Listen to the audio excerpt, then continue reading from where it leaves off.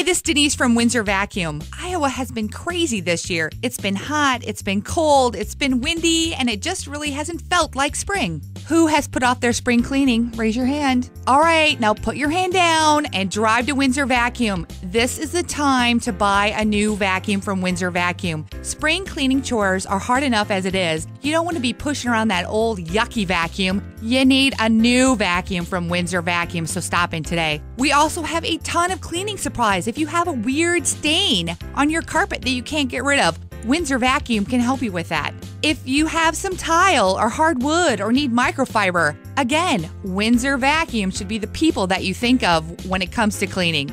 We are located at the corner of Merle Hay Road and University Avenue. Stop in and see us today. Don't put it off any longer. Stop in today. 255 3878 is our phone number or 255dust.com.